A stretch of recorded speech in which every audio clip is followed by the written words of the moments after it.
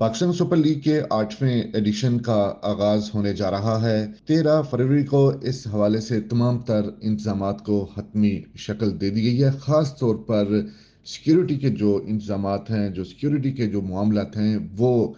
उसके प्रोटोकॉल्स तय कर लिए गए हैं और अब उनके ऊपर हतमी तौर पर अमल दरामद होगा। हम आपको यहाँ पर ये बताएँगे कि एक मरतबा फिर पाकिस्तान सुपर लीग में हिस्सा लेने वाले खिलाड़ियों और ऑफिशल्स को सदारती मेहमान का दर्जा दिया गया है और उसी लिहाज से उनकी सिक्योरिटी भी तरतीब दी गई है और इस हवाले से तमाम मुतलका अदारों को बता दिया गया है कि पी एस एल में हिस्सा लेने वाले खिलाड़ी और ऑफिशल्स के लिए सदारती प्रोटोकॉल और सिक्योरिटी का अहतमाम किया जाए। इससे पहले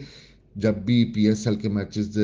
लाहौर में, कराची में, मुल्तान में और पिंडी स्टेडियम में खेले गए हैं माजी में, उसमें भी खिलाड़ियों को सदारती दर्जे की सिक्योरिटी मिलती रही है। बिल्कुल ये वही सिक्योरिटी है जो इंटरनेशनल टीमों के खिलाड़ियों को मिलती रही है जिनमें इंग्लैंड के खिलाड़ी हैं न्यूजीलैंड के खिलाड़ी हैं, South Africa, Bangladesh, Sri Lanka, West Indies, Australia, जिन्होंने यहाँ पर दौरे किए थे और इसका एहतमाम जो शुरुआत की गई थी, वो 2015 में जब एक अरसे के बाद पाकिस्तान में इंटरनेशनल क्रिकेट बहाल हुई थी जो श्रीलंकन टीम पर हमला होने के बाद तातल का शिकार थी, उस वक्त इस तरह के प्रोटोकॉल जारी किए गए थे और उसके बाद उनको मज़ीद उसमें जो खामियाँ थी, उनको दूर किया जाता रहा। बुलेट प्रूफ जो थी, वो वैन्स आ गई थी और उन्हीं पर जो नकलो हरकत है और एक जगह से दूसरी जगह पर पहुंचाना जो है वो खिलाड़ियों को उसी बुलेट प्रूफ जो वैन्स थी, उनके ज़रिए पहुँचाया जाता रहा और उस पर मज़ीद सिक्योरिटी लेयर्स भी बढ़ाए जाते रहे। अब तीन से चार लेयर्स जो हैं, वो सिक्योरिटी फ्राहम की जाती है। ज़ीरो रूट होता है जब खिलाड़ियों की और ऑफिशल्स की मूवमेंट होती है और जिस रूट से भी उन्होंने गुजरना होता है, वहाँ पर दूसरी जो ट्रैफ़िक है उसको ज़ीरो कर दिया जाता है और उसका एक मुतबादल रूट भी रखा जाता है ताकि अगर इस हवाले से कोई एमरजेंसी की सूरत हाल हो तो मुतबादल रास्ता भी इख्तियार किया जाए। तो इसके साथ साथ जो पाकिस्तान सुपर लीग के जो चार शहरों में इस तरफा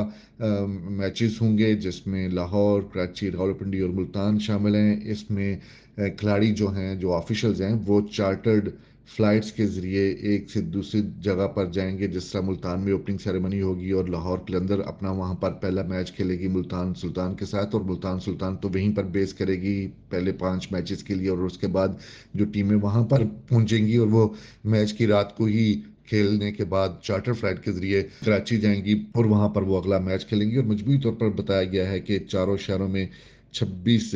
चार्टर्ड फ़्लाइट चलेंगी। टीमें जो हैं वो कमर्शियल फ्लाइट्स पर सफ़र नहीं करेंगी और इन तमाम टीमों के जो छः टीमें हैं, उनके खिलाड़ियों को, उनके स्पोर्ट्स स्टाफ को और जो मैच ऑफिशल्स हैं, उनको सिक्योरिटी जो दी जाएगी वो स्टेट सिक्योरिटी होगी, सदारती प्रोटोकॉल होगा और जिस तरह की सूरत हाल है, ऐसी उस हवाले से पाकिस्तान क्रिकेट बोर्ड का कहना है कि वो किसी भी तौर पर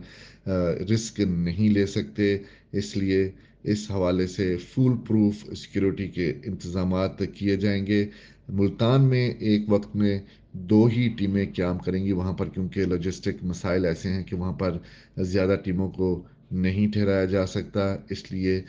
जो टीम आएगी वहाँ पर मैच खेलेगी और वो अगले रोज़ वापस चली जाएगी मैच खेलने के बाद और फिर दूसरी टीम वहाँ से जो कराची से है, वो मुल्तान के साथ मैच खेलने के लिए पहुँचेगी, क्योंकि साइमल्टेनियसली दो वेन्यूज़ पर मैचेस होंगे, पहले मरहले में लाहौर पहले मरहले में मुल्तान और कराची में मैचेस होंगे, जबकि दूसरी लेग में लाहौर और पिंडी में बेयक वक्त मैचेस खेले जाएँगे। और जो इसके अलावा जो ब्रॉडकास्टर्स हैं कमेंटेटर्स हैं मैच ऑफिशल्स हैं, उनको भी फुल प्रूफ सिक्योरिटी